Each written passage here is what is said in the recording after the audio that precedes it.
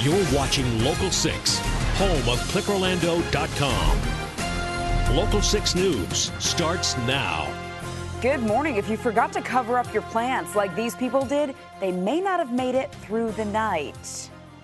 And this is why temperatures took a big dive overnight.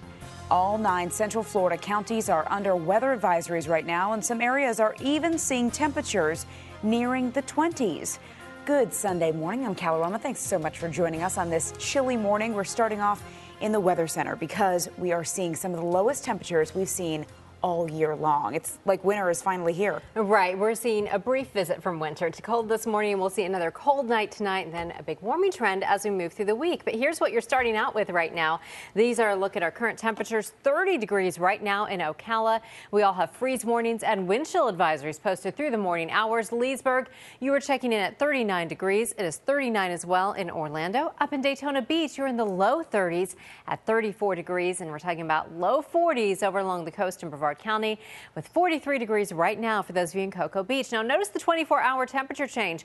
We are about 10 to 20 degrees cooler than we were yesterday at this time, 12 degrees cooler than just 24 hours ago in the villages, all thanks to that strong cold front that pushed through during the day yesterday. Here's what it actually feels like. So these are the numbers you need to be concerned about as you're getting ready to head out to church or breakfast or whatever you have going on this morning. It feels like 28 degrees if you're up in Palm Coast.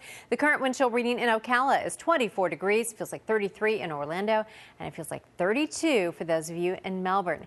Here's how it looks for you as we move you through the rest of your day, hour by hour, so you can go ahead and make those plans. We keep it cold and brisk all day today, 42 degrees at 8 o'clock. By noon, I do think we'll see a lot of sunshine. It won't be quite as windy today, but still certainly on the breezy side, 50 degrees around lunchtime.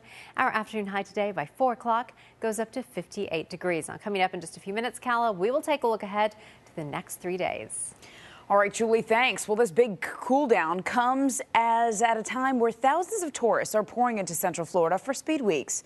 Mike DeForest continues our team coverage with a look at how people are dealing with the cold. Normally, last night, people would be out here on the Flagler Beach Pier taking a stroll.